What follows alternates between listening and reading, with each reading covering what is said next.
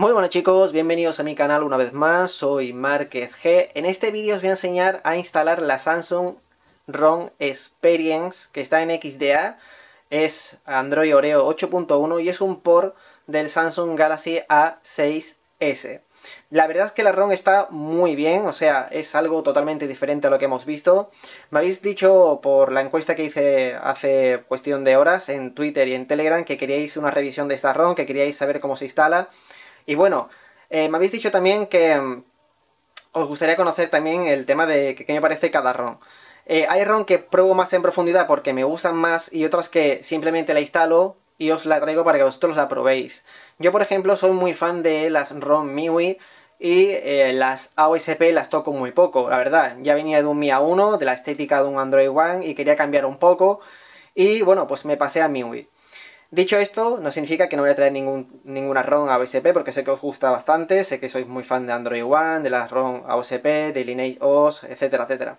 Así que bueno, he decidido subir este vídeo que la verdad que habéis coincidido bastante en que queríais ver cómo se instalaba. Y bueno, deciros que no todas las ROM se instalan igual, salvo quitando algunas cosillas. Imaginaros que para pasar de MIUI a OSP necesitas a lo mejor un parche o de AOSP a MIUI necesitas un parche. Yo siempre lo aplico, que es el parche que me preguntáis siempre, que es para que no os encripte los datos. Y después hay algunas ROM que sí requieren tener las Google Gaps y otras que no. Entonces yo traigo la instalación, tú te metes en este vídeo o en cualquier otro y verás que en algunas sí meto las Google Gaps y en otras no. O sea, por eso os digo que os puede dar problemas si metéis unas Google Gaps que no deberíais de meter, etcétera, etcétera. Por eso hago el vídeo. Aclarado esto, Vamos a ver cómo se instala. Lo primero que tenemos que tener siempre es un backup de la ROM que ya teníamos instalada. Yo en este caso tenía eh, la Xiaomi EU, así que he hecho un backups. Vamos a ir a backups, seleccionamos todas las opciones que están en azul, seleccionamos dónde queremos guardar nuestro backup y deslizamos. Una vez completado, que tarda un poquito, completado el backups, nos vamos a ir a Wipes y vamos a ir a Advanced Wipes y vamos a marcar lo de siempre, Dalby, Caché, Data, System y Vendor. Una vez hecho esto, vamos a deslizar hacia la derecha para completar todos los wipes. Bien, siempre digo lo mismo, aunque no lo digas de inicio, tienes que tener todos los archivos de la descripción en la memoria interna, en la memoria microSD o en un archivo OTG a través de un pendrive. Dicho esto, yo siempre lo tengo en una carpetita, lo verás en todos mis vídeos. Y ahí meto todas las ROM que voy a instalar. En este caso, sería la Samsung Experience, que sería la ROM, que es la que estáis viendo abajo, el parche y la Xiaomi Mican, que luego se la instalaremos por, eh, por Magix. Bien, dicho esto, vamos a hacer lo de siempre. Vamos a meter primero la ROM y la flasheamos. Va a tardar un poquito, ya os lo digo, pero bueno. La ROM la había instalado hace bastante tiempo y bueno, no me convenció mucho del todo porque tenía muchísimos fallos. A día de hoy se han solucionado muchísimos, ¿vale? Es una ROM en la cual se puede convivir eh, para el día a día, pero sí que hay otras que a lo mejor no funcionan, hay cositas y detalles. Yo he hecho una pequeña lista de lo que he ido recopilando a través del foro de XDA, y entre ellas, por ejemplo, cosas que no funcionan, es el flash, pero cuando lo utilizamos desde la barra de notificaciones. O sea, si hacemos una fotografía, sí sale el flash. Pero si bajamos la cortinilla y le damos al acceso directo que hay de la linterna, no funciona, no se enciende. Bien, después, la cámara no funciona en el modelo indio, en el modelo chino y en el modelo global sí funciona la cámara. Bien, la aplicación de mensajes se cierra igual para todos, o sea, hay días que va bien y hay días que va mal. La aplicación de los SMS, ¿vale? Como antiguamente escribíamos. Bien, después, por ejemplo, el widget del tiempo también sufre algún que otro forzar cierre, ¿vale? Después, por ejemplo, el autobrillo, ya sabéis que si lo ponemos en autobrillo y enfocamos más luz a la pantalla, se ilumina y si hay poca luz, pues se baja. El autobrillo tampoco funciona. Y después, después por ejemplo, hay gente que ha dicho que se drena muchísimo la batería. Yo no lo sé, no la he tenido durante una semana para probarlo, pero bueno, cuando la he tenido, que ha sido, por ejemplo, creo que ha sido un día o dos más o menos para ver cómo iba, si, de verdad rendía en llamadas, en GPS, etcétera, no me ha ido mal. La verdad que me, has hecho religiosamente mis 7-8 horas en wifi. Pero bueno, eh, no sé si le he dado a wipe caché, vamos a hacerlo de nuevo. Vamos a darle hacia atrás. Y vamos a meter el parche de encriptación. Bien, como digo, siempre, aunque el parche no sea, necesario, porque a lo mejor vamos de AOS, o sea, vamos de AOSP a OSP, pero si por ejemplo vamos de AOSP a MIUI, sí se podría encriptar. Yo siempre lo meto que no pasa absolutamente nada, ni os va a dar forzar cierre, ni cuelgues, ni, ni nada de nada. Yo siempre por precaución, por precaución, perdón, siempre lo meto porque no sé de qué ROM venís vosotros, si venís de una MIUI, de una OSP, etcétera, etcétera. Bien, más cositas. En esta ROM, por ejemplo, no hacen falta las Google Gaps, ya vienen incluidas. Eh, por lo que recuerdo, no es como por ejemplo el OnePlus 5T, la ROM que subió hace muy poco, que venía súper petada. Eh, creo que viene en mínima, si no me equivoco. De todas maneras, ahora lo vais a ver cuando reiniciemos el sistema. Y comentaremos más cosas de la ROM. Bueno, vamos a darle a Reboot y le vamos a dar a System para que se instale. Y esto lo de siempre, lo marcáis, lo desmarcáis como queráis. ¿Vale? Yo en este caso lo voy a dejar. Bien, cositas. Em, según el hilo de XDA, han removido todo tipo de bloatware, aplicaciones chinas, todo lo que fuese de por medio, ¿vale? Después, por ejemplo, las aplicaciones de terceros de Samsung, como por ejemplo el teclado de Samsung, si lo buscáis por ejemplo en XDA, eh, Samsung, Keyboard, APK, eh, no es un teléfono de Samsung, o sea, no podemos instalarle temas de Samsung, aplicaciones de Samsung, como la música o cualquier cosa que venga, ¿vale? Lo digo porque puede dar bastante confusión y lo ponía en el hilo de que no se podían eh, instalar cosas de terceros de Samsung. Y después, por ejemplo, eh, a la hora de instalar la MIUI Can hay que dar unos permisos especiales, manuales, y activarlos todos. No lo sé porque no lo he probado, ¿vale? No he instalado todavía la, la MIUI Can, ahora lo haremos seguramente. Y bueno, eh, lo más importante de todo, obviamente, a la hora de bajar la ROM y a la hora de bajar la MIUI Can mod para que le sale luego en Magix, es que los enlaces de Google Drive de XDA muchas veces no están disponibles. Os voy a dejar un pequeño vídeo de un compañero de YouTube donde nos enseña cuando ese enlace no funciona cómo descargarlo. Simplemente es coger, guardarlo en nuestro Google Drive, hacer una copia del archivo y a descargarlo. Pero os lo dejo en un vídeo para que lo veáis mejor por si no está disponible. No puedo subirlo yo, por ejemplo, un servidor de Mega o Mediafire, porque esto es una cosa muy personal, ¿vale? Esto lo ha subido él y tampoco es plan de coger y quitar el, el mérito del enlace a esa persona. Bien, a ver, cositas a tener en cuenta cuando vamos a instalar la ROM. Bien, vamos a ver si es multilingüe. Efectivamente es multilingüe. Vamos a buscar español España. Le vamos a aceptar. Y a raíz de aquí, pues ya vamos a continuar hacia adelante. Red de datos. Siguiente. Vale, la conectividad Wi-Fi. Yo voy a meterlo, hago lo de siempre, hago un pequeño corte y meto eh, mi clave, ¿vale? Para que a partir de aquí sigan los pasos, para que no se vea la clave, obviamente, ¿vale? Deciros que siento la calidad, o sea, la iluminación del vídeo, porque ya sabéis que cuando el brillo se pone a tope, el brillo, o sea, la cámara hace cosas muy raras. Así que bueno, vais a ver cómo va, va a ir variando en función de cuando vaya toqueteando el teléfono. Así que voy a poner la contraseña y ahora seguimos. Vale, ya hemos metido la contraseña del wifi, ¿vale? Lo veis que está aquí arriba. Y vamos a continuar con la instalación. Vamos a aceptar los acuerdos para poder instalar la ROM. La vamos a aceptar, está activando el teléfono. Obviamente no te va a pedir la cuenta de MIUI porque no estás utilizando una ROM con MIUI. Vamos a registro operador. Siguiente. Mejorar la precisión de ubicación. Vamos a darle a aceptar. En una versión anterior, eh, volver a activarla todas. Sí. Vale, permitimos y permitimos. Le damos a siguiente. Configurar reconocimiento facial, lo cual pues, tiene reconocimiento facial, perdón. Configuración de la huella. Configuración del ping y del patrón. Yo, por ejemplo, voy a poner la huella ya que tengo curiosidad por ver cómo funciona de ligero. Bien, vamos a darle a continuar. Elegimos un método para el bloqueo. Hay cosas que no están traducidas, ¿vale? Estaréis viendo en pantalla, pero bueno, tampoco es preocupante en el sentido de que siempre es lo mismo cada vez que instalas una ROM. Bien, voy a poner la huella. Bien, y listo. Continuar. Bien, notificaciones en la pantalla de notificaciones, ¿vale? Ocultamos el contenido, simplemente el icono, la transparencia, etcétera. Aquí elegimos lo que queráis. Bloquear dispositivo. Se ha configurado. Bien. Aquí el tamaño de la fuente. Vamos a ver lo de siempre. Si podemos desde más pequeña a más grande. Viene súper larga. Pero aquí podéis configurarlo como queráis. Que yo creo que prácticamente no se nota diferencia si pasamos de un lado a otro, entre comillas. Pero bueno. Voy a dejarlo más o menos por aquí. Vamos a darle a hecho la previsión del tiempo, esto es lo que decían que no funcionaba, lo cual Eh, yo voy a deshabilitarlo, hace que me dé algún tipo de forzar cierre. Siguiente. Y todo listo. Tu teléfono está listo para usarse. Bien, pues aquí tenemos totalmente la ROM del port de Samsung. La verdad es que es muy bonita, visualmente es muy muy bonita, ¿vale? Después, por ejemplo, tampoco es que vengan muchas aplicaciones en plan rollo Bloodware, en el cual pues hay aplicaciones que no vas a utilizar. Samsung Heal, me gustaba cuando lo tenía en mi Samsung Galaxy S7. Después para dar el, Smart Manager también. Tenemos cositas por aquí como por ejemplo el propio explorador de archivos, las notas de Samsung, la calculadora, etcétera, etcétera. Me gusta, ya os digo, bastante, ¿vale? El hecho de, de poder, no sé, eh, probar una ROM totalmente distinta, que no sea lo típico que ya habíamos probado. Pero bueno, voy a bajar un poquito el brillo porque se le está yendo la pinza totalmente a la cámara. Imagino que así lo veréis mejor.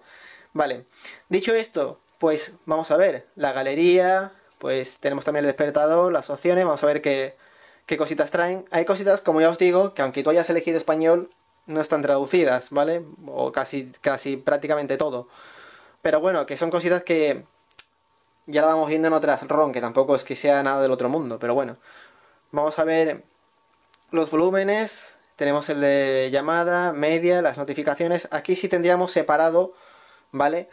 El de llamada con las notificaciones, una cosa que me gusta bastante, ¿vale? Porque esto es una cosa que lo estáis viendo en otro tipo de ROM que vienen unificadas y eso no me mola absolutamente nada. Y es un detallito que, bueno, que ahí está. Este puntito me está llamando la atención. Doble tap para esconder, ah, vale, la barra de navegación. Eso también es curioso saberlo. Bien, a ver, cositas. Vamos a irnos a, hacer lo de siempre. Sonido y vibración le hemos dado, notificaciones. Vamos a darle hacia atrás, pantalla. A ver, decía que el autobrillo, pues el autobrillo sí funciona. No entiendo por qué dicen que no funciona, si sí funciona.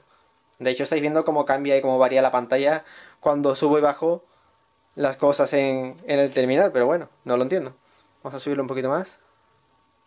Bueno, vamos a activarlo realmente. Vamos a dejarlo por aquí para que se vean. Vale, esto para el modo lectura, ¿vale? Para que no os dañen los ojos también. Podéis también modificarlo a vuestro gusto. Yo no suelo utilizarlo, la verdad. Yo suelo dejarlo como viene de, de serie. Me estoy quedando ciego, también puede ser eso. Bien, tenemos el modo estándar, tenemos el modo fácil. Vale, aquí ya cada uno elige las opciones que quiera. Bien, ¿Qué más? El indicador de LED, la barra de estado, la barra de navegación, ¿vale? Vamos a ver... Ah, podemos cambiar lo que es el color, ¿vale? Aunque aquí no se aprecie, pero realmente está cambiando a un morado, a un verde, a un rosado. E incluso podemos cambiar el orden para volver hacia atrás y demás, que lo acabamos de hacer en tiempo real y estupendo. Podemos también mostrar o ocultar el botón que estáis viendo aquí abajo para ocultar la barra. Esto pues útil, por ejemplo, si estáis escribiendo con el teclado, no quiere que os estorbe. La verdad que me parece curioso. Bien, más cositas. Voy a poner el tiempo de pantalla que nos apague en dos minutos para que nos dé tiempo a hacer cositas. Vale. ¿Qué más? Eh, ya os digo, es una ROM. Es que claro, viniendo por ejemplo del, de la base que parte en inglés, pues tienes que ir, viendo qué cositas trae y qué cositas no trae así a simple vista. Pero sí que es verdad que es una ROM que en cuanto a velocidad, ya os digo, el GPS, etcétera, funciona perfectamente. Vamos a probar lo del toggle de la linterna, que tengo curiosidad, aunque aquí pone que no funciona, pero sí funciona, ¿vale? Puede ser que todos los fallos, pues bueno, cada teléfono es un, es un mundo, pero bueno. Tiene el modo juego, que esto me lo habéis pedido mucho también, ¿vale? Que también me decía, oye, tal ROM tiene modo juego, tal y cual, pues esta se ve que sí. Más cositas así a destacar, así por lo menos que a simple vista veamos. Es que ya os digo que, tendrá que haber cantidad de cosas por ahí escondidas. Pero bueno, a ver.